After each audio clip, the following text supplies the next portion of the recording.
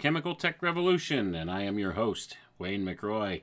Good evening, everyone. Tonight we're going to discuss panic and the baptism of wisdom. Well, we're going to take a look tonight, once again, into a book titled Baphomet The Temple Mystery Unveiled by Tracy R. Twyman and Alexander Rivera. And we're going to explore the connection between John the Baptist, whom we've discussed at length before here on this program, and the connection to the figure known as Baphomet. I believe the correct pronunciation is Baphomet, if you want to get technical about it, but I will say Baphomet because that's how it's spelled and that's what it looks like and that's what everybody's familiar with. So we'll use that term. But uh, the whole point here is there are connections, deep rooted, esoteric connections between these ideas and so many other things that just undergird our reality in a way that most people don't realize. And you can call this a touch of the synchro mystic. You could call it whatever you'd like. But you need to understand there are direct archetypes involved. And there are some very high level occultists at the top of the power structure that understand many of these symbols and their usages and their effects on the human mind. And they've learned how to leverage these against people. And this is one of them. Now, these are some important ideas that we're going to discuss here tonight. We're going to put it all together, this connection between not only John the Baptist and the Baphomet figure, but also what the Baphomet figure represents, and that would be the inversion principle of the archetype known as Pan, the god of nature, back in the old Greek mythology. We're going to make those connections and many more here tonight. And in future episodes here, we're going to explore some other avenues of thought connected to this idea because this this whole thing this symbol that's been adopted wholesale by the power structure and make no doubt about it, they've adopted it, is this Baphomet figure. It's a symbol that's been adopted across the board by those dark occultists at the top. And it's been utilized in many different guises across the realms of the social engineering of this world, across media, across corporations, and we see it coming to bear in our reality around us and it directly correlates to the push for the transhumanist notion that is coming. Not just coming, it's already here. It's already here.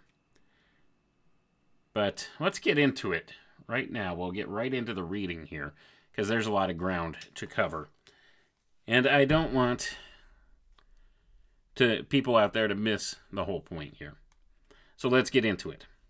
If the Gospel of John was actually written from John the Baptist's viewpoint, and if that viewpoint corresponds to Hermeticism, then we should not be surprised to discover that the Baptist and Hermes are symbolically linked to the same broader archetype of wisdom god, and also to each other specifically. Briefly, we mentioned before the figure of Oannes, the sage with a fish tail who came out of the sea each day to teach rude humanity the civilized ways. Interestingly, it seems that some comparative mythologists have connected this character to none other than John. We first became aware of this because of a throwaway line from Robert Graves, who wrote in The White Goddess that, quote, Oddly enough, John the Baptist seems to have been identified by early Christian syncretists in Egypt with the Chaldean god Oannes, who, according to Berossus, under or used to appear at long intervals in the Persian Gulf, disguised as the merman Oedicon, and renew his original revelation to the faithful. End quote. Searching for more information on the subject, we discovered what early 20th century Viennese writer and historian Richard Eisler wrote in Orpheus and the Fisher. They appear to imply that John was actually a reincarnation of Oannes, as the text states, quote, We should not hesitate even to presuppose that the same syncretism of John and Oannes, which seems so natural with Neo Babylonian Gnostics, the Mandaeans, existed also among the more immediate Jewish followers of the Baptist, seeing that influence of the Babylonian belief in ever new incarnations of the primeval Oannes, Berossus knows as many as six such reincarnations in past times, and quote. So I'm going to pause for a moment here, folks. So you see some of these these researchers into some of these themes here, these mythological themes and these connections, have put together this connection between John the Baptist being a reincarnated figure of Oannes, this primeval god from the Babylonian times, the Babylonian Gnostics, and Gnosticism predates Christianity. Don't uh, make any mistake about that. Gnosticism is actually one of the things that undergirds a lot of our modern occultism. So, this being the case, we have some of these scholars who looked into these various connections and made these assertions. So, the assertion is made here that John the Baptist is a figure very much of the same ilk as this Oannes, this god Oannes of the Babylonians. So, that being the case, it's the same archetype being portrayed here, and the connection could also be made back to Hermes. You see. And there's many more connections that we can see here. So, this was as quoted from a book from this guy named Eisler. And it says another passage from the same book by Eisler says even more. And it says, quote, I am fairly convinced that the rapid propagation of John's idea and especially the spreading of his fame into the lowlands of South Babylonia, has indeed a good deal to do with the striking resemblance of his traditional name to that of the primeval Babylonian fish and fisher god, the teacher and lord of all wisdom. So I'm going to pause right there. So keep that in mind. The fisher, or the fisher god, and was not the promise of Jesus, I will make you fishers of men. You see, so uh, we see all these different connections that can be made on the archetypal level with this stuff. But let's continue reading and see what other bits of information we can pull out of this. And remember, remember, I always caution you take this stuff with a grain of salt. There's really no way to prove nor disprove any of it. I just find it interesting that we have all these synchromystic tells out there these connections between these various ideas that transcend time and culture. And we have these archetypes that are ever present in human thought. And these archetypes, whether you want to admit it or not, they do have a huge influence on the human psyche, whether you're aware of the origins of the archetype or not. It still affects you on an unconscious level. And when it affects you on the unconscious level, Eventually, it bridges that gap to manifestation in the conscious level through the bridge that is the subconscious, as we've discussed here in the past as well. But let's continue reading. It says, So we have an alleged etymological connection between Oannes and Ionis, John's original Greek name, as well as the association with fish and water symbolism that both figures have. John is associated with fish not only because of his baptisms in the river, but also because his namesake is the prophet Jonah.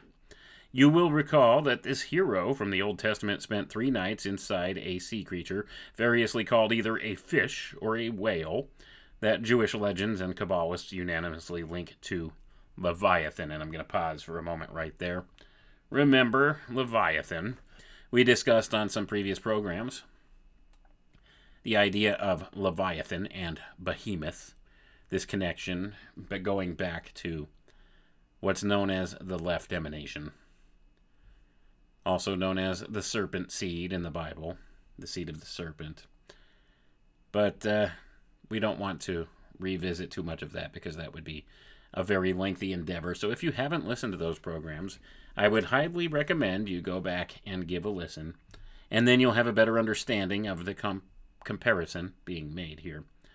Leviathan. So the Kabbalists uni- unanimously linked this idea of the fish or whale that swallowed Jonah in the tale to the concept of Leviathan, or the archetype that is known as Leviathan. Let's continue reading, though, because I don't want to get sidetrailed there, because that could be uh, a whole other show in and of itself. But let's continue on. Another piece of evidence cited by Eisler to prove his point connecting John and Oannes was that the latter reportedly ate nothing when he was above the ocean's surface, giving mankind lessons in wisdom, just as the former reportedly ate nothing but locusts and wild honey.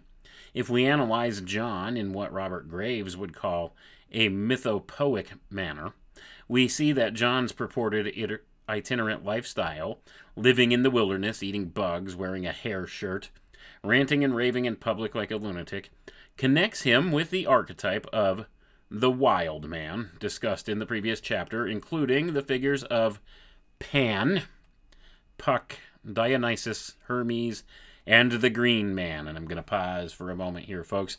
So, the Pan archetype, we see this connection between John, John the Baptist, and the Pan archetype, the wild man living in the wilderness, eating bugs, wearing a hair shirt, ranting and raving in public like a lunatic. So there's the connection to the Pan archetype. So, wisdom, Oannes, the Babylonian god of wisdom, connected to the idea of fish and the sea, and also the idea of Pan, the god of nature, the wild man, these two archetypes combine in the archetype of John the Baptist, connected to John the Baptist. Also, this connection back to Hermes.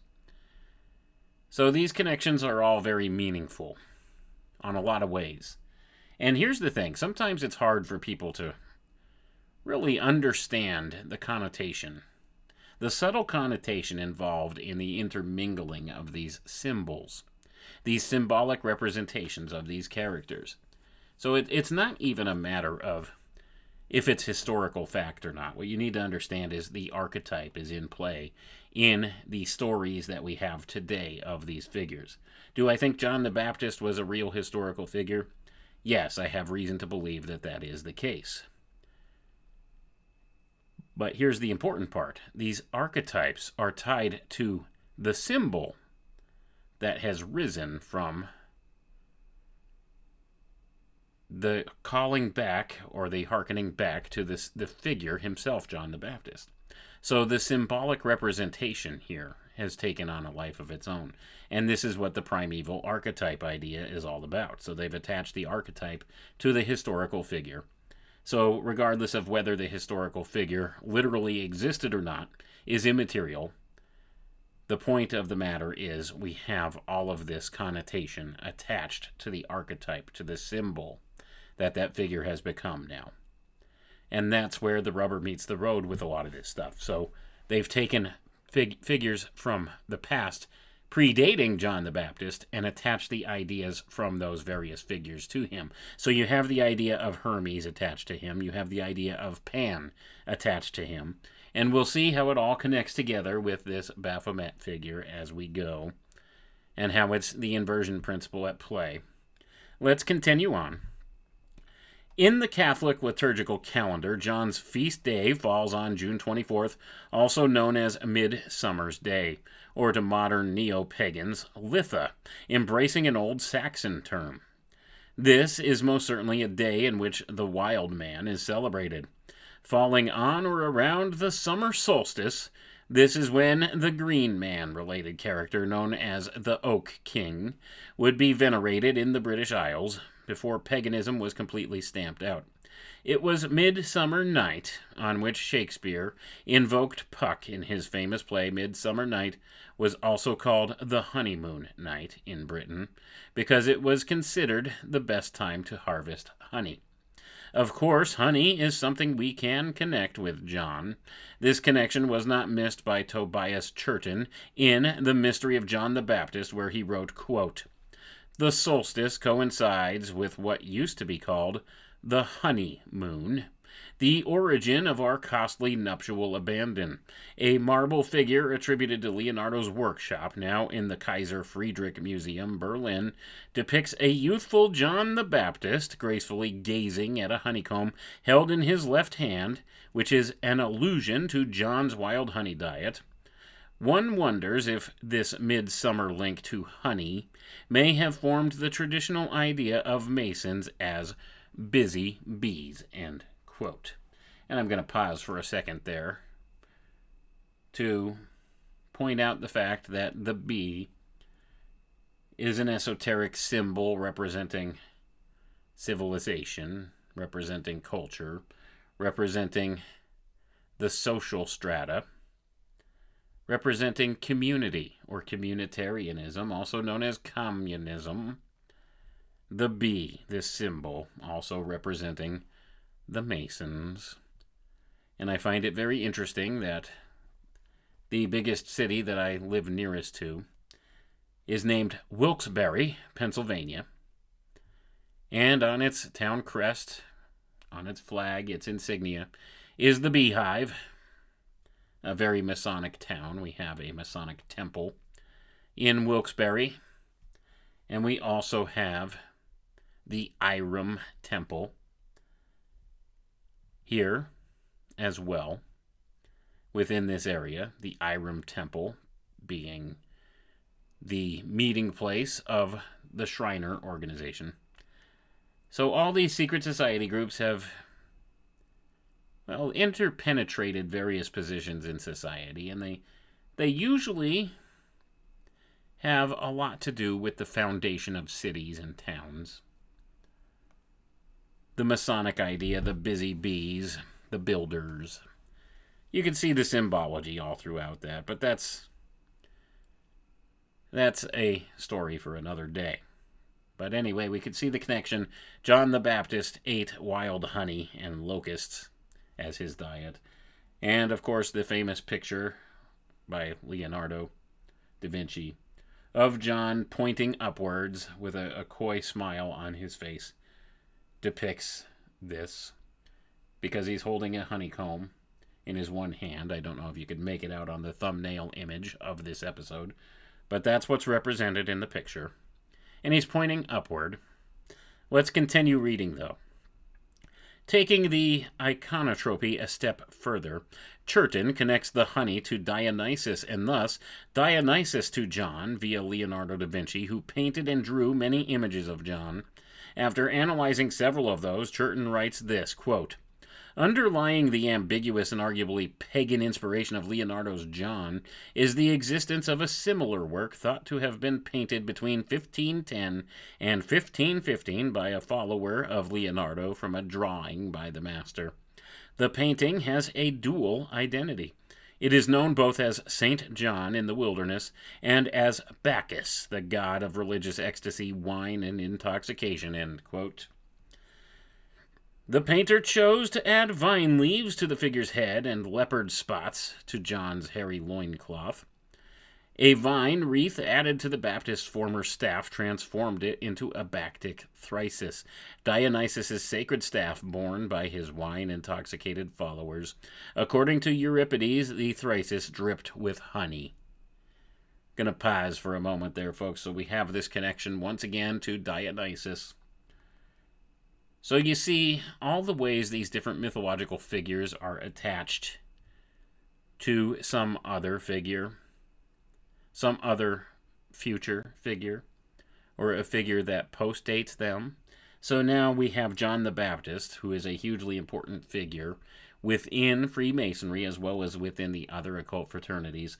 He's taken on the archetypes, the archetypal symbology of these other figures. So you see how it's drawn together an amalgamation of these different figures and put them all into one figure. And this one figure now has become a symbol representing all of these other earlier ideas. This is how the mystery schools often work. They will transfer the symbol or the archetype from one figure to another through the course of time to bring the ideas forward through what's known as the underground stream of esoteric thought. And this is the Western influence, the Western stream of esoteric thought. There's also an Eastern stream, which relates more to the Oriental ideas, or the Eastern philosophies, the Buddhic principles.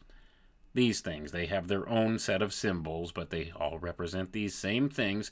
This is just the Western tradition that we have all of this. So these different archetypes are all inherent in this symbol that is known as John the Baptist now. And this is what's often referenced in many of the secret society groups. This is why they, they put reverence on this figure of John the Baptist. It represents so much more than just the biblical story. You see, there's layers upon layers of meaning attached to the symbol. That's where it all gets very interesting and sometimes murky for people looking from the outside. They don't understand exactly what's being represented. They may be familiar with the biblical story, but are they familiar with Greek mythology? Are they familiar with the other mythologies? Babylonian mythology? Some of these other ideas? Are they familiar with Hermetic thought? Oftentimes not, so they don't recognize what the underlying meaning is of the symbol.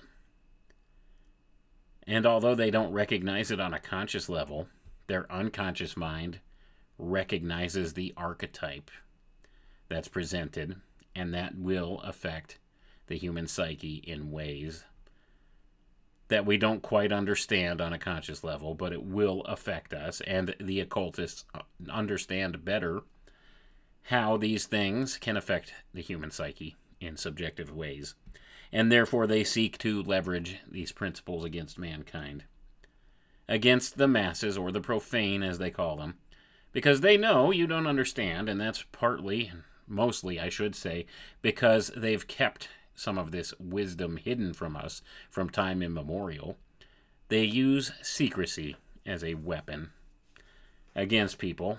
So, very largely, they've actually weaponized the idea of secret knowledge against people in this way by keeping from the masses some of the attachments here to the symbol. And if they understand that and you don't, that gives them a distinct advantage over you. And it's all about maintaining power in this place, power over others. That's what many of these dark occultists that run things in this world seek. They want power over others. They want to have power over everything. And by keeping this secret from you, they have power over you. So if they understand a symbol that you don't, and can learn to leverage that in some way against you in a way that you won't be able to recognize and influence you in a way you don't recognize, that gives them so much power over you. And sadly, that's where we are in this world. They leverage these things against us all the time because it is archetypal. And that's the whole point. It's archetypal. Your unconscious mind will recognize the symbol. And through the recognition of the symbol, these people can implant some subtle type of ideas along with the use of the symbol and influence your behavior, and you don't even know what's going on. And that's what's been done, and that's the level of how corrupt things have gotten in this world. That's the level of control that these people have, of influence.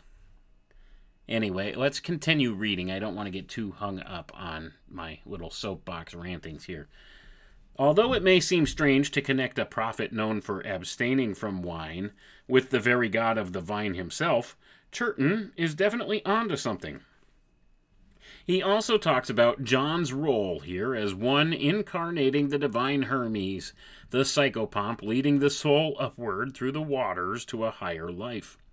Churton suggests that the baptism in the gospel might actually be secretly hinted at as having taken place in the underworld, with the River Jordan symbolically representing the rivers of Hades that one must travel to get from the realm of the living to the realm of the dead. He writes, quote, Symbolically, the ferryman may then be seen as John Hermes. Hermes, remember, was seen in Hellenistic tradition as a psychopomp, literally a guide of souls through the darkness of death to the other side, the herald of another world attainable only through death. As Churton points out, many others have connected the figure of John to that of Hermes before. Quote, Less than a decade before Leonardo painted his late masterpiece, German artist Conrad Celtes produced a woodcut wherein the Greek god Hermes appeared as a straight stand in for John the Baptist. Celtes simply hooked into the idea of Hermes as the divine messenger and made the identification of John Hermes by reference to the understanding of John the Baptist as revered forerunner or herald of Christ, the one crying in the wilderness. The most famous statue of Hermes by Giovanni de Bologna, which, according to Edith Hamilton, is what makes him the most recognizable Greek god to modern people, shows him pointing a finger up to the sky in the same manner that John the Baptist is often shown doing, particularly in Renaissance art.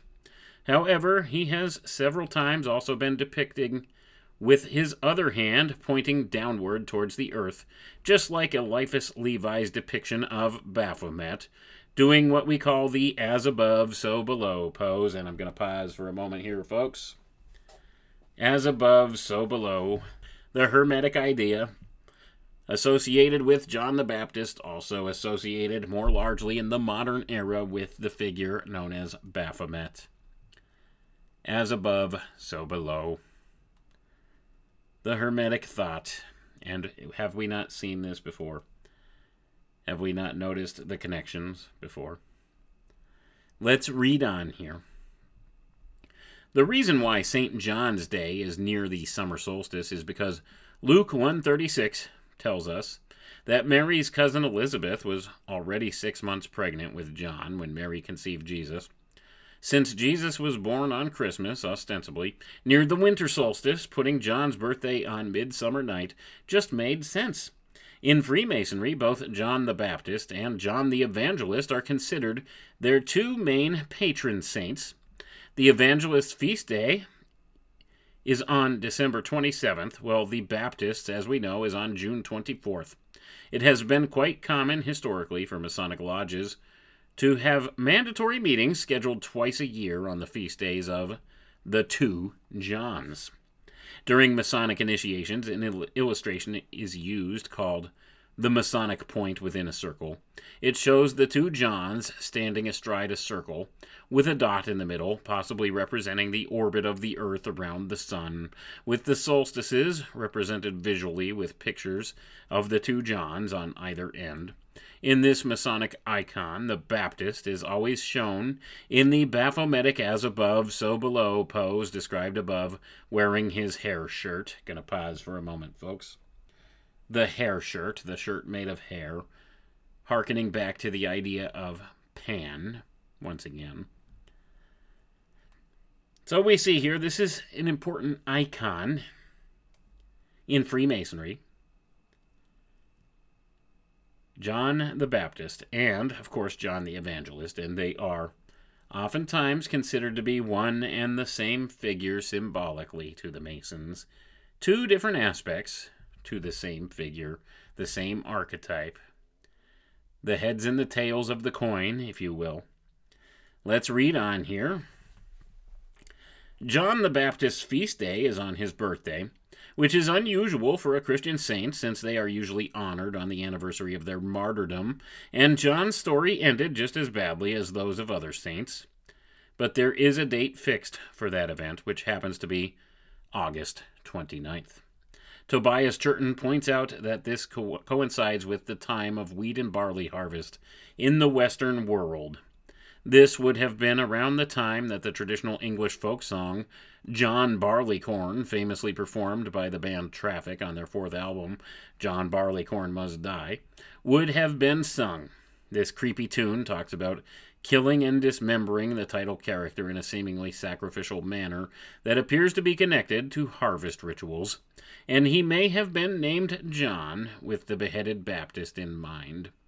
The connection seems close enough for Churton to definitively write, quote, the beheading of John became linked to a profound archetype, rooted in ancient conceptions of the head of wheat and barley corn being severed to fulfill the promise of life and abundance for the people.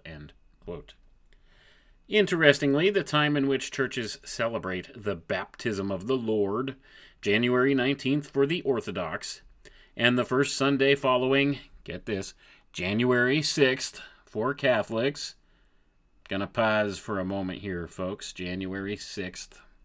The Epiphany. The date of the Epiphany. Also, hearkening back to the older tradition of the Feast of Fools. The Feast of Fools. I've done some shows talking about this before. And how the January 6th debacle that happened that is our modern day political theater is nothing but a harkening back to these archetypes, folks. Harkening back to these archetypes. But anyway, let's continue on. So, let me start that sentence again. Interestingly, the time in which churches celebrate the baptism of the Lord, which is January 19th for the Orthodox, and the first Sunday following January 6th for the Catholics, is close to the time, which it says in parentheses, January 20th, when the sun enters the house of Aquarius, the water bearer. There is yet another pagan wild man entity that Churton saw fit to connect with John the Baptist. The aforementioned Pan. Gonna pause for a moment right here, folks. This is important. There's a definite connection there. And we'll see how it ties to this Baphomet figure again as we continue on.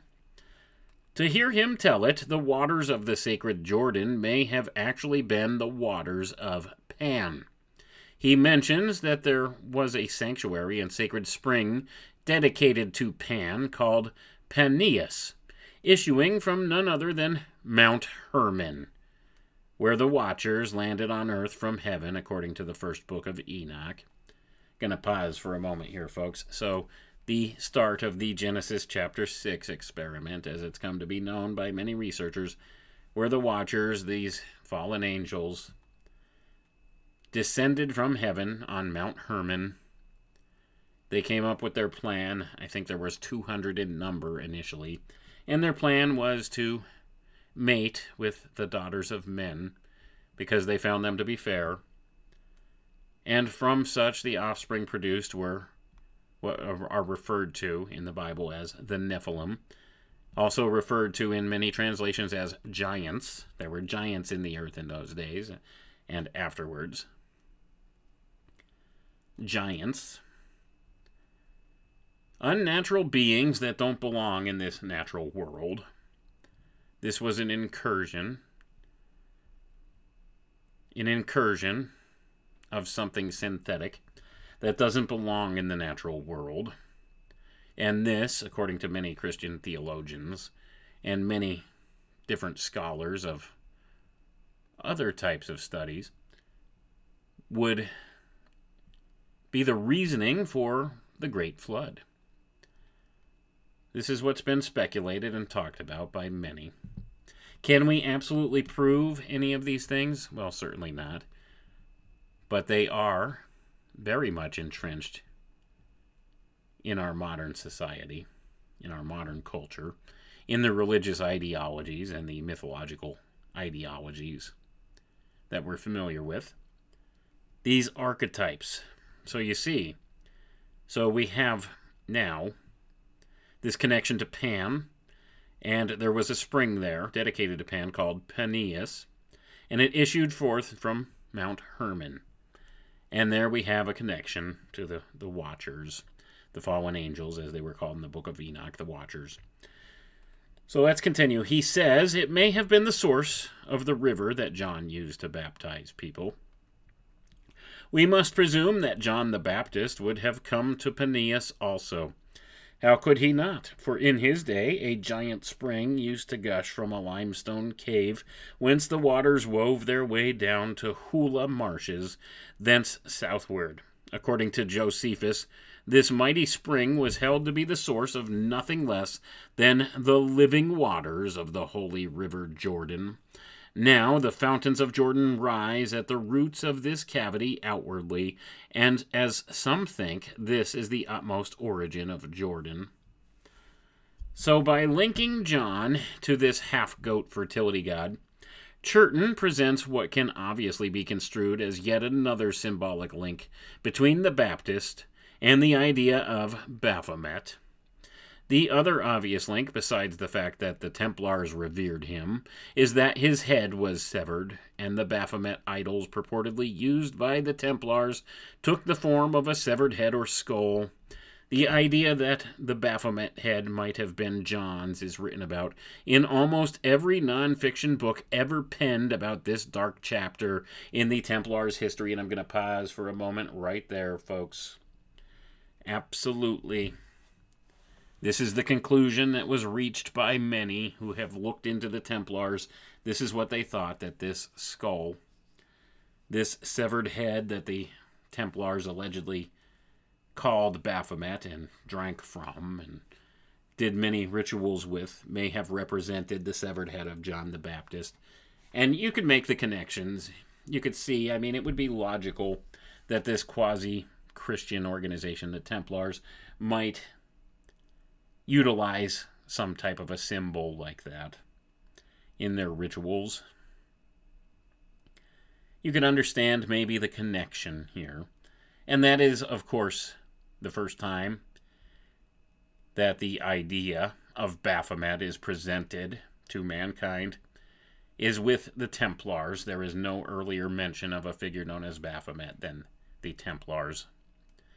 This is the origin point. This is where the crossover happened. This is where the inversion principle was put into play. The inversion of Pan, the connection to the archetype with John the Baptist, with Hermes, with all of these different figures together here. They took all of these positive notions and inverted them. And what do I mean by the inversion principle of Pan? Well, Pan Pan was half goat, half man. But his lower half was goat, and his upper half was man. He had the face and head of a man with horns. The Baphomet figure has the head of a goat. Have you noticed that? It's the inverse principle. The inverse principle represented in the very figure itself, in the art itself. The idea began with the Templars, and of course, Eliphas Levi made it famous, the representation we see today, the goat headed figure, known as Baphomet today. So it took some time for it to manifest and make the, the crossover here, the inversion principle through time. Let's continue reading, though, and we'll put together some other connections. We'll connect some dots. John's connection with Freemasonry is interesting. Of course, it is assumed to have been absorbed from the Templars. Tobias Churton points out that before the Grand Lodge of London completely took over and homogenized the craft in the 18th century, there was a time during which the members of lodges who had not yet been incorporated were known cryptically as St. John's Men. It was clear at the time that the St. John they were referring to was the Baptist. However, after the Grand Lodge takeover, Churton notes that the Masons began celebrating John the Evangelist as well, and he seems to think they did this to muddy the waters and make it hard to tell which John was really special to them. He quotes from the famous Sloane manuscript, a 15th century collection of texts on file in the British Museum, which contains a script for a Masonic ritual in which the candidate must state the first Masonic word, was given at the Tower of Babylon, and that the first Masonic lodge, back then, was called the Chapel of St. John. So here we have John and the origins of Freemasonry connected to the Babylonians and perhaps an echo of their priesthood's initiation into the rites of Oannes, the memory of which may have been later transposed onto the figure of the Baptist. So I'm going to pause for a moment here, folks. So once again, the taking of the old figure, the transference of the archetypal nature of the old figure to the new one, a new representation of an older archetype. We have this transference that goes on, and they still do it today. We have other symbols or archetypes today that have been given their meanings from older ideas, the transference of various archetypes. And we have these in our modern works of fiction, things like Star Wars and our modern mythologies. They've taken some of these older things and they've transferred them to some symbol that we would recognize in our modern era. And they have the same underlying archetypal meanings and attached to them as a symbol. And they take on the mantle of these older figures. They still do this today with many things. Look at the figure of Darth Vader, the Dark Father. The Dark Father. It's a very, very old archetype. Not going to go into that one here tonight, but you could eh, use your imagination and start making some connections from Darth Vader as a figure to some other mythological figures of the past and understand maybe some of the Saturnian influence that was given to the character of Darth Vader.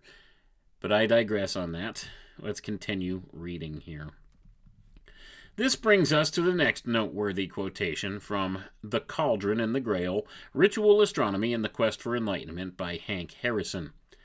Here he talks about the Greek rites of Eleusis, an offshoot of the Dionysian cult, and how they would drink hallucinogenic intoxicants proffered to them by Pluto, the lord of the underworld, who would then transform into a man-fish like Oannes and reveal to them secret, sacred wisdom. And this is from that book, quote, in the rituals of Eleusis, as enacted at the height of Athenian power in the Greek Golden Age, it was crucial that Pluto entice Persephone in her human form into a state of expanded consciousness. She must see more in order to understand the mystery. To do this, Pluto has her drink a psychotropic substance from a special goblet, the Kykeon, another proto grail. Pluto then transforms himself into Iacchos, an anthropomorphic manfish who performs a passion play based on ritual astronomy. This is not a strictly Atlantic ritual. Clearly, the manfish can be traced to Vishnu and the Vedic scriptures, but the Atlantic contribution is also apparent, especially in the transformation process and in the fact that the audience becomes an intrinsic part of the mystery at Eleusis, the spectators sing hymns to the manfish, a figure who shows up 1500 years later in the Grail literature as the Fisher King. Only Iacchos can return the maiden, Persephone, essentially the vessel of the Grail, to the world of light, and only the Fisher King can reveal the Grail secrets to Percival. End quote. We have another connection here to the man-fish, the fish man, Oannes, the Fisher King, the Eleusinian mysteries, the wisdom, the Fisher King. He can reveal the secrets of the Grail. The Grail secrets, the, the secret wisdom. Let's continue on and we'll make some more connections here. Of course, Oannes is linked to John, as we have established, and Iacchos brings to mind Jack, a common nickname for men named John, as well as Bacchus, the Roman term for Dionysus. Gonna pause for a moment here, folks. Iacchos, Jack, Bacchus, John, What's all this mean? What's the connection? What are some of the connections here? Jack. The Blackjack. 21. 2001. perhaps we'll have to do another episode talking about the idea of the blackjack. I'll refer to Michael Hoffman's work for that. The idea of the blackjack. And we see that here also associated now with John the Baptist and therefore to the symbol also known as Baphomet, the blackjack.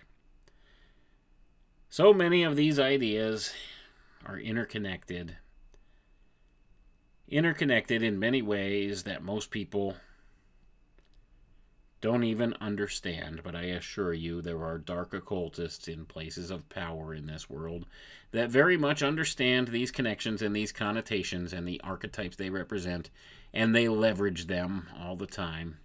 In past programs here, I've associated the idea of the blackjack having related to the clown idea, and how we have been now initiated into clown world through the whole January 6th debacle.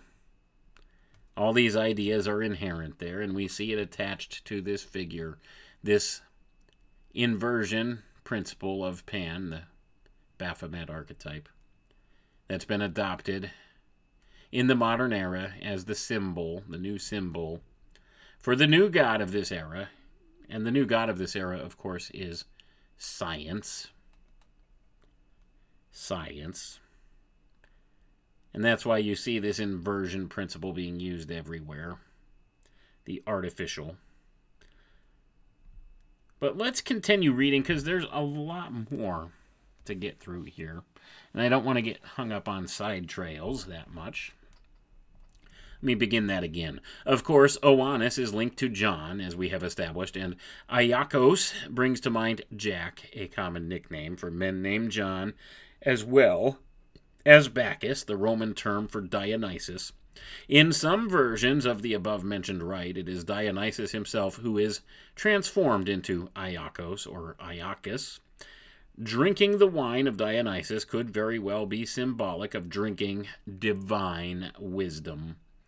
As we saw with Marcus the magician and his version of the Eucharistic cup.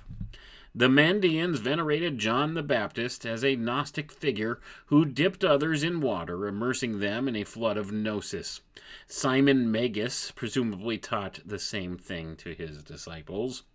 What John was teaching was that salvation through gnosis, represented by the Logos, or by Christ to the Christians, is readily available to those who seek the hidden wisdom of the Nazarenes, a term even the Mandeans used to refer to their priests. For the Templars, however, it seems likely that the secret knowledge they sought was symbolized by their idol Baphomet, and conferred on, upon their initiates via the baptism of wisdom rite, which they may or may not have believed to have had anything to do with John's baptism. As we will see, this rite was perhaps more blasphemous and scandalous than most people could even ima- imagine. And I'm going to pause for a second here, folks to point out that this is what a lot of these secret society groups teach that the whole idea that Jesus, the Christ as they call him, represents the idea of the Logos or Gnosis. Gnosis, the divine wisdom, being baptized into the divine wisdom this is the notion, the baptism of wisdom rite, talked about here by the Templars, and how it associates to this Baphomet figure. John the Baptist, the baptism, baptism of wisdom. You see the connections back to some of these old archetypes. Let's continue on because there's some more here to cover. And we'll try to connect a few more dots here before we sign off maybe leave you with a little something to think about. Quote, the ancient mysteries later fell into a perverted decline and were replaced with ceremonial sorcery, incantations in lieu of divine magic, and also were filled with the indescribable practices of the orgies of Bacchus. The keys to esoteric knowledge were thrown over the hedge of time. And that's a quote from Henry C. Clausen, former sovereign grand commander of the Supreme Council of the Southern Jurisdiction of Scottish Rite Freemasonry in the USA. That's an interesting statement, isn't it, folks? An absolutely true statement. They did. The ancient mysteries fell into a perverted decline, which is still going on today. Way beyond a decline, it's an inversion process, and it's being purposely done by those at the top of the power structure, those dark occultists at the very tippy top of the power structure who run things in this world, who have decided to keep certain knowledges and wisdoms from the various people groups of this world for themselves so that they could control people. And through time, many of these ideas have become so perverted that th- these things that are taught as true wisdom are actually the antithesis of true wisdom and are working against nature. They're not the real deal. They're not the original teachings, they're the total inversion of the original teachings. And they've taught people this in the modern era, in modern occultism, as being the real thing. And only they're smart enough and wise enough to be able to see it. And it's all perverse. It's all perversion. But let's continue reading here, and we'll see if we can make a little more sense out of it for you. If John is connected to the cults of Dionysus and Pan, then we should not be surprised to find out that those who practiced similar Gnostic baptismal religions at later times also indulged in ceremonies involving intoxication, frenzy, ecstasy, and sexual license. In Hippolytus's refutation of all heresies, there is evidence that the Naassenes may have performed homosexual acts in their rituals. If this is true, then it may be that they believed their sexual practice was somehow reversing the normal course of sex and turning the energy backwards, turning the Jordan River in a different direction as the Mandeans may have allegorized, and thereby restoring themselves to divinity. Similarly, practitioners of tantric sexual yoga withhold from ejaculating in order to retain the sexual energy within for alleged spiritual gains. Perhaps in the Naassenes or similar groups, we can see or we can find the origins of the Templars' supposed homosexual initiation rituals. Going to pause for a moment here, folks. So now, if you're able to read between the lines, now you may understand why these dark occultists who run things seek to invert the natural order, the natural process of things, why they seek total inversion of nature the total inversion of the natural world into something wholly synthetic or artificial. It is for this reason. Let me read that again in the context of these rituals. And then you'll see in Hippolytus's refutation of all heresies, there is evidence that the Naassenes may have performed homosexual acts in their rituals. If this is true, then it may be that they believed their sexual practice was somehow reversing the normal course of sex and turning the energy backwards, turning the Jordan River in a different direction, as the Mandeans may have allegorized, and thereby restoring themselves to divinity. So I'm going to pause there. Just to point out, have you ever wondered why they seek to invert everything? Why they call good evil and evil good? Why they push and promote the sexual confusion in this era? The normal course of sex, as referred to here, reversing the normal course of sex.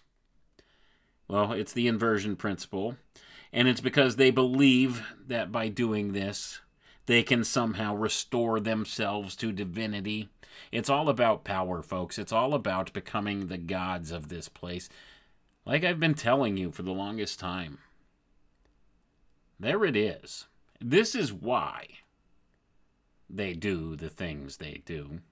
It's one thing for me to tell you and demonstrate to you that they seek to invert the natural order. Then that brings up the question well, why would they do that? And this is their reason why. They think by doing so they will become God.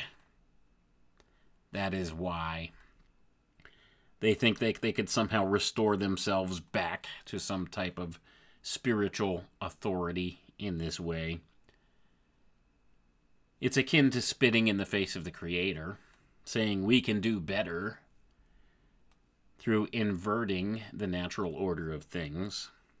This is what it's all about. And this is also what is probably at the, the core to the Templar initiation right here that they say they had these homosexual initiation rituals.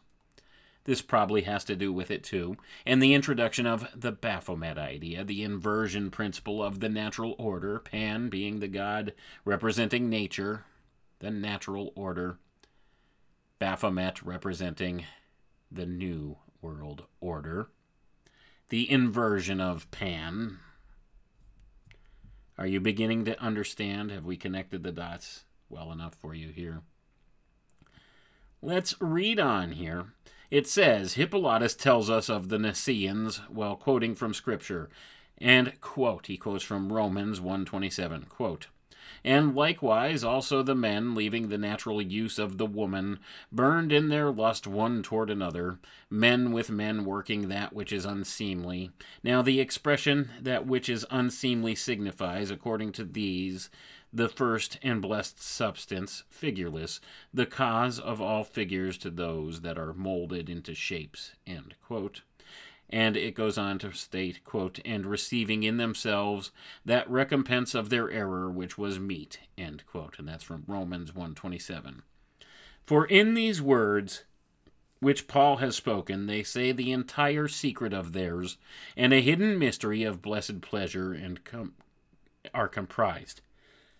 For the promise of washing is not any other, according to them, then the introduction of him that is washed in, according to them, life giving water and anointed with ineffable ointment, then his introduction into unfading bliss. End quote.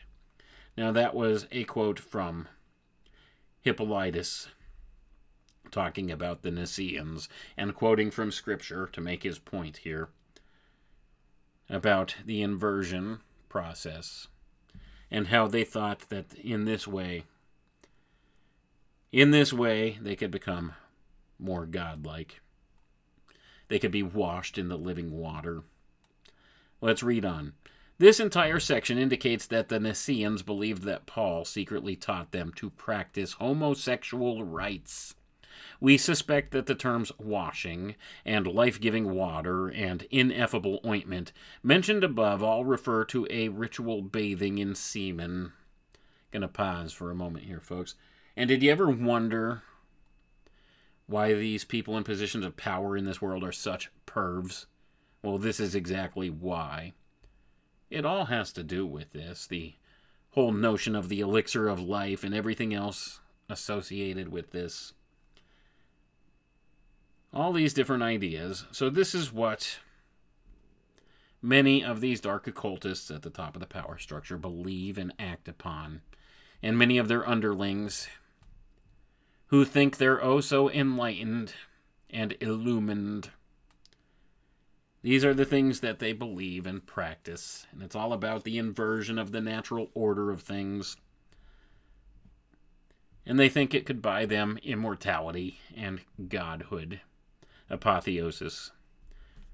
Let's go ahead and read on. Judging from Epiphanius's explicit accounts of Gnostics eating semen and menses as the Eucharist, as well as consuming aborted embryos pounded with honey and pepper, it doesn't seem too far fetched. A lot of Epiphanius's criticism against Gnostic groups is based on his interpretation of a metaphor of gathering up the spiritual seeds of the world for the Gnostic Church. These are the spiritual elect. The Greek word for seed is sperma. Here is an example of the metaphor being used in the Gospel of Eve that was twisted by Epiphanius in Panarion 26 3 1. Quote, I stood upon a lofty mountain, and saw a man who was tall, and another little of stature. And I heard, as it were, the sound of thunder, and drew nigh to hear. And he spake with me, and said, I am thou, and thou art I, and wheresoever thou art, there am I. And I am sown in all things, and from wherever thou wilt thou gatherest me.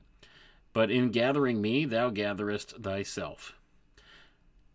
End quote. And then the Gospel of Philip, a Gnostic gospel, not part of the Nag Hammadi codices, tells us something similar as well. Quote, the Lord hath shown me what my soul must say on its ascent to heaven, and how it must answer each of the powers on high. I have recognized myself, it saith, and gathered myself from every quarter, and have sown no children for the Archon, but I have pulled up his roots and gathered my scattered members, and I know who thou art, for I, it saith, am of the ones on high. End quote. So I'm going to pause for a moment here, folks. So now it's important for me to point out the Gnostic roots of this, the Gospel of Philip. Speaking of, he has sown no children for the Archon. The Archons, another Gnostic idea, and the demiurge, these Gnostic ideas that kind of undergird a lot of much of the modern ways of thinking, whether people realize it or not. The secular ways of thinking, a lot of this Gnostic interpretation of things undergirds much of that. And that's an interesting connection to make, too. But uh, we're not going to touch too much upon that tonight let's just leave that there for now because I still want to cover quite a bit before we sign off here. Let's continue with our reading here. All of this is consistent with the idea that some Gnostic sects believed they were gathering spiritual seeds from the world and returning them to the realm above. It seems to have something to do with refraining from conceiving children, while at the same time not refraining from sex. Quite the opposite. Simon Magus is also said to teach the same libertine practices, calling it quote unquote perfect love. And I'm going to pause right there for a moment, folks. So let's think about this logically. Refraining from conceiving children while at the same time not refraining from sex, but rather the opposite. Indulging in it with whomever and whatever. These are modern ideas we see promoted in our culture, don't we?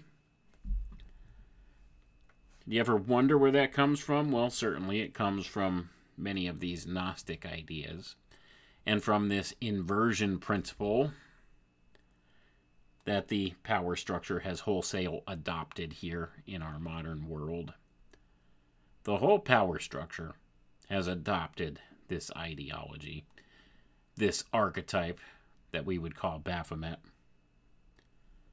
The inversion principle of the natural order of things. It's got deep roots, ladies and gentlemen. Goes way, way back. But we're seeing it manifest here in a way never quite paralleled before in the history of mankind, at least the recorded history of mankind that we're aware of. We're living in epic times, folks. Get your heart right with God. Get your relationship right with God. We're living in very strange days indeed. The best thing you could do is cling on to the spiritual, be in right relation with God, the Creator, and hold tight to that. That is how we get out of some of the things that are coming. That is how we craft a better future for ourselves by not losing touch with the real deal, the natural order of things, the natural world, and of course our relationship with God the Creator. We need that. We have these spiritual roots. We are spiritual beings having a physical experience here, not the other way around, as these these dark occultists who thrive on the inversion ideas would have you believe. They would have you believe you're a physical being having a mock spiritual experience. It's the other way around. We are spiritual beings having a physical experience. That's the fact of the matter. Let's continue reading. It might be wise to consider that Epiphanius was perhaps just misinterpreting a mystical teaching and indulging in gossip about the same rumors that were once heard in the Roman Empire about Christians. We saw how Celsus conflated the Christians with the Ophites, Ophites, excuse me, with each other, accusing the Christians of being involved in the Ophites' secret orgies and cannibalistic rites. However, it is undeniable that the authors of the early Gnostic scripture were practically obsessed with erotic symbolism. In Refutations 521, Hippolytus referred to the phallic deity Priapus, who the Gnostic teacher Justin claimed had, quote, fashioned all things. Epiphanius, in Panarion 25.2.4, also connected the teaching of the libertine Nicolaitans who the revelation of St. John condemns in the strongest terms, together with a great female power called Barbelo, who emitted from the Father. Her relation to the world creating powers, or archons, is highly erotic because she, quote, continually appears to the archons in some beautiful form and, through their climax and ejaculation, takes their seed to recover her power which has been sown in several of them. This continued emitting of semen is an important part of the recovery of a female force. Situated in the eighth heaven, Nicholas is quoted as saying, quote, Unless one copulates every day, he cannot have eternal life. End quote. And that's from Pan Iranian 2515. We must look to the observations of Jacques Lacarrière on all of this when we, he connects Gnostic sex rituals, as reported by the Church Fathers, with satanic black mass in his book, The Gnostics. And he says here, quote, the Black Mass is not far removed from the Barbelo Gnostic ritual, certainly no farther than Sabaoth is from Lucifer, and it is no more chance that certain aspects of these rites are to be found right down to the present day among the Luciferian sects, where they are spiced with Kabbalistic demonology, the ambivalence of the whole Gnostic attitude, the perpetual temptation that oscillates between rigorous asceticism and rigorous debauch, since both have the same soteriological value, is to be found there, and, in the historical evolution of Gnosticism, was translated into the opposing paths of mystic Catharism, far the first, and magic Luciferianism, or Luciferism, for the second. End quote. So I'm going to pause there and point out the fact that they always, always give you these polarizing ideas, these polaristic ideas associated with these things. You see, there's the left path and the right path. That's what all of these different teachings have in common. Now, the Kabbalists may call it something slightly different than the Gnostics and vice versa, but, but, it's all the same ideas, going back for as long as we could look. It's all about this inversion principle. So we see the modern roots of what we would call Satanism today go back to Gnostic teachings. Gnostic teachings. It's amazing how all these things interconnect, isn't it? Let's read on here. In Roman history, the Roman historian Livy makes the same accusations against those who partook in the Bacchanalia ceremonies when he writes, quote, when once the mysteries had assumed this promiscuous character, and men were mingled with women, with all the license of nocturnal orgies, there was no crime, no deed of shame or wanting. More uncleanness was wrought by men with men than with women. Whoever would not submit to defilement or shrank from violating others was sacrificed as a victim. To regard nothing as impious or criminal was the very sum of their religion. These Bacchus worshippers were pretty hardcore.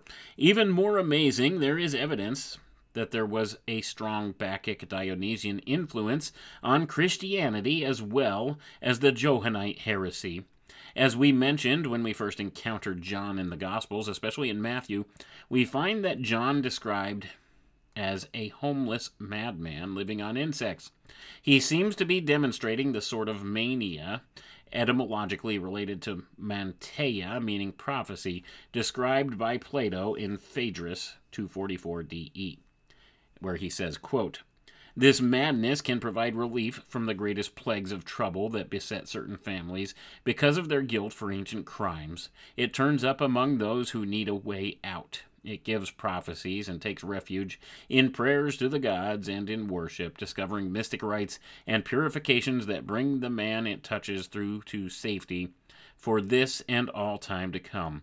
So it is that the right sort of madness finds relief from present hardships for a man it has possessed. Baptism was one of the sacraments of the Thracian moon and fertility goddess Cotys. Ian C. Storey writes in Eupolis, poet of old comedy, quote, Baptai were worshippers, in this case, of the goddess Kai, Kaito, who had undergone a ritual immersion or washing as a rite of initiation. We also find much Dionysian symbolism in the Gospel of John as well. Some of it is discussed in the previous chapter, it says here in the parentheses. In John 2 1 through 11, we see Jesus turning water into wine at the wedding at Cana, once celebrated by the Catholic Church on the same feast day as Jesus' baptism. That would be January 6th, folks, the Epiphany date, harkening back to an older ritual known as the Feast of Fools. January 6th, there's an importance to that date. And like I have told you before, there's so much of this underlies everything in this world, all these occult symbols and occult archetypes and dates and times that they plan things. They all have hidden meanings, folks. Let's continue reading here, though. Similarly, there were many myths of Dionysus' miracle production of wine. The Middle Platonist and historian Plutarch relayed this wine miracle in The Life of Lysander, where he says that the handmaidens and nurses of the infant Dionysus dipped him into a spring, and the water changed into wine of a pleasant taste. For a polytheistic Greek audience, the Dionysian resonance in the story of Jesus' wine miracle would have been unmistakable. Moreover, John's gospel employs further Dionysian imagery when Jesus is quoted as saying, quote, I am the true vine, end quote. John's Jesus presents himself as a new Dionysus, superior to the previous version of the God. 1 Corinthians 12, 12 through 13, we read, quote, for even as the body is one and yet has many members, and all the members of the body, though there are many, are one body, so also is Christ. For by one Spirit we were all baptized into one body, whether Jews or Greeks, whether slaves or free, and we were all made to drink of one Spirit. To drink of one spirit parallels the Dionysian ritual of imbibing the god through consumption of wine. The word spirit is even a term applied to alcoholic beverages. This is the basis of the Catholic Eucharist, with the consumption of Jesus Christ's blood symbolized as wine and his flesh as the water of, or as the wafer of bread. So I'm going to pause right there and say we see these connections, of course. And remember, you do have to take this stuff with a grain of salt, as I always caution you. Because there's no way to prove the correctness of this or the incorrectness of it. This is what's presented by the Gnostics. These are their teachings. This is what heavily influences many people in the occult fraternities today, the secret society groups. And many of these people have risen to positions of power or prominence in this world. And the things they do, acting upon these things they believe, or think they know that we don't. The things they do to act upon their beliefs here will affect all of us in some way or another. So even if you think it's total nonsense, understand there's people in positions of power in this world that very much believe in these things and act upon them. And it will affect you on some level. So you need to understand why they do the things they do, how they do the things they do, and what exactly they're looking for as an end result thereof. That's why we explore these ideas here. These are the things they teach within the highest, most levels of these secret occult fraternities. They teach that they are the true vine. You see, going back to some of these ideas again, and that it is their divine purpose to become the gods of this place. And they hearken back to these old archetypes. And they leverage them against the human mind in ways most of, most of us can't fathom because we're not familiar with the mythologies like we once were. We don't get that classic education anymore. We don't recognize the symbol consciously, but it still affects our unconscious mind. And these people understand that and they use it against us. And a prime example of this is something as simple or as simple as a logo, a corporate logo. It affects your mind in a way that you don't even realize. And that's the whole point. That's why they do this. That's why they do this stuff. But let's go ahead. Let's continue. We're going to close it out here. So we'll read on. It says The Bacchic possession of divine madness has parallels with Paul's teaching on how possession of the Holy Spirit was meant to affect a convert who received it through baptism, resulting in things like glossolalia, speaking in tongues. The Greek word entheos, meaning within is a god, was used to describe someone that is divinely possessed. This is the origin of the word enthusiasm. This is the state of ecstasis or ecstasy, as the divine term, eh, or the, the modern term has now become ecstasy. When the boundaries between the egoic self, other people, and the God worshipped are dissolved into an experience of rapture and unity. The ecstasy of God's presence was said to be induced by music, dance, wine, and omophagia, the eating of raw flesh.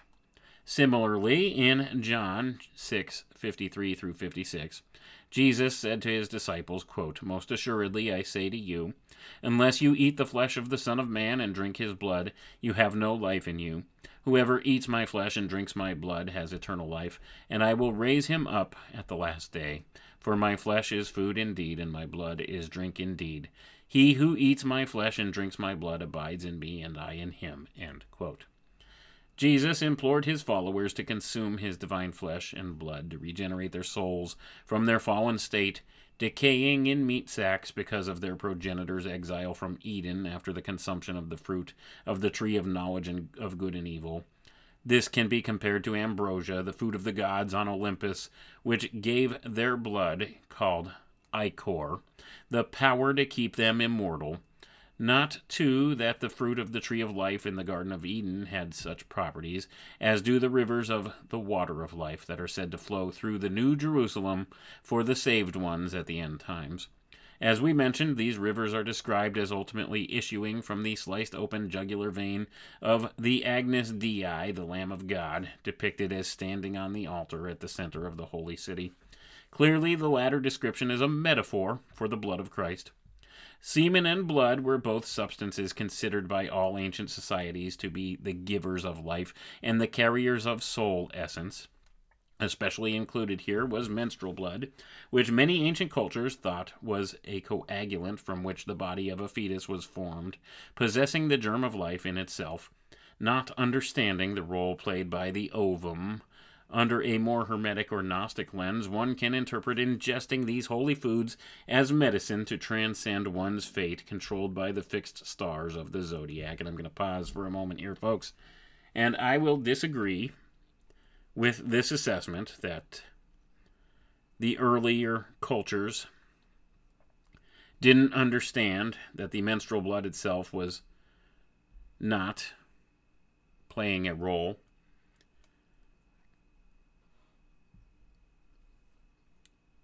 That the menstrual blood played the role of the ovum here. Oh, I will I will disagree with that statement. I don't think ancient man was as dumb as we make him out to be. There's something more associated with the idea of menstrual blood. But this is what the common teaching through the occult fraternities is about that view. And this is why you have such things going on in the modern era as what's known as spirit cooking, if you remember seeing about that a few years back. How John Podesta had these big celebrations with this artist, uh, what's her name, Marina Abramovich or something like that, where she came and put on this display using menstrual blood and spirit cooking ceremonies and rituals and things like that going on where they ingest this stuff. This stuff was going on way back when in many of these old occult settings as well within these different groups. Let's read on and we're going to wrap it up. This is the key to understanding the elixir of life spoken of by the alchemists, which Ignatius of Antioch equated with the Eucharist. He called it the medicine of immortality. In Ignatius to the Ephesians 20 2. In modern times, the self purported Neo Templar, the Ordo Templi Orientis, serve as their Gnostic as their Gnostic Mass, what they call cake of light, a mix of menstrual blood, semen, honey, cake batter, and olive oil.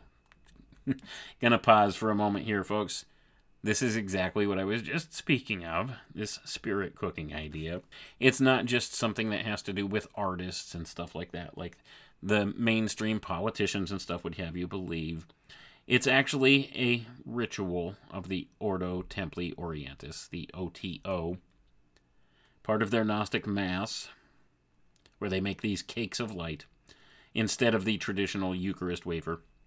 Let's read on. It says, We are not quite sure how many of the participants are aware of the ingredients of the cakes, as these rites are open to the public, and no warning is given to congregants about what they are about to consume. Isn't that nice? In Liber Aleph, Aleister Crowley writes the preeminent, In all sex magic, quote, is the formula of the serpent with the head of the lion, quote, which he says is a reference to semen and another personification of Baphomet. Quote, and all this magic is wrought by the radiance and creative force thereof, end quote. To Crowley, the personal will and magical prowess was symbolized by the erect phallus. The woman is a necessary, respected, and consecrated essential of the formula for sex magic, but only in a reflective sense as a vessel for the manifestation of the sacred. And I think we're going to stop right there, folks. So you get the idea. Why are all these people in positions of power in this world, why are they gigantic pervs? Well, this is exactly why. These are the things that many who belong to the high echelons of the occult fraternities believe and act upon. And of course, they get their lower level minions, you know, those people that we would call agents of government and corporation and some of the power brokers of this world. These are the things they get them involved with, too, and then they blackmail them to keep them quiet and to do their bidding. This is how it works. And this is why. So, when you understand, it's all about this baptism of wisdom, as they like to call it, the inversion process, the reversal of the natural order of things to become God, or to get back closer to Godhood, to revert back to that. These are the things they do. And they see these inversion principles as a means to get that done. This is why they do the things they do, as we see here, and we can demonstrate these different connections. Why have the Freemasons adopted the figure of John as very important to them? Not just John the Evangelist, but John the Baptist. Why do they teach within the occult fraternities that the Gospel of John is referring to John the Baptist, and that's what the whole book is about John the Baptist? Well, because it relates back to these ideas that can be traced back to the Templars and before the Templars, this connection of these archetypes together through the Templars into John the Baptist, and the idea of Baphomet brought into the world through the Templars. The inversion principle, that's when the inversion process started with the Templars.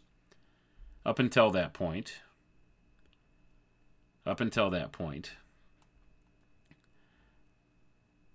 things may have progressed a little differently. They were not as debauched or inverted or backwards, not as corrupt. But at that point, that's when corruption set in in this world. The introduction of this inversion principle of the natural order, this Baphomet idea. And with it came central banking. Interestingly enough, right? so understand what's been done here in the world. How many of these synchromystic ties undergird everything, all these occult symbological connections begin to make sense when you could trace things back and look and see what in the world are they trying to infer here? What are they doing? Why are they doing this? When you understand, when you begin to research a lot of these things, no matter what it is, whether it's government corruption or uh, you name your conspiracy, any quote unquote conspiracy topic out there, you name your conspiracy, you always come to these two points. Two points you come to. You either find occultism and the ancient mystery schools at one end, invariably, and I wish that was not the case, but it certainly is, you always find occultism attached to all of it, any of it. And at the other end, at the future end of it, if you follow the, the timeline forward through the ideologies presented from the past and coming to pass in the current day, and follow them to their invariable end, you will always find the transhumanist notion of things. It's the f- fulfillment of their great work. But it's not a true great work. It's the inversion principle, you see, as we discussed previous here. It's all about inversion, and this is why, folks. This right here, the figure of Baphomet has been adopted wholesale as the symbol of this age.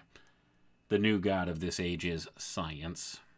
It's an inversion of the natural order.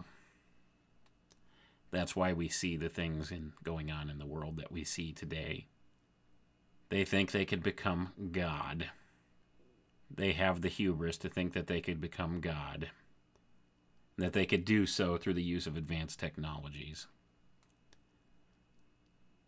That's what undergirds everything going on in the world today. It's this push for transhumanism, and it has its roots back in the ancient mystery schools and it has a culminating turning point that can be traced back to the Templars that's coming into fruition in full manifestation right now. And we could see, when we look at this stuff, how these synchromystic ties that most people would dismiss are more important than ever. And that's why we take the time to read these things. Anyway, folks, I want to thank you all for tuning in. I appreciate each and every one of you. We'll catch you next time. Have a good night now. Come with me.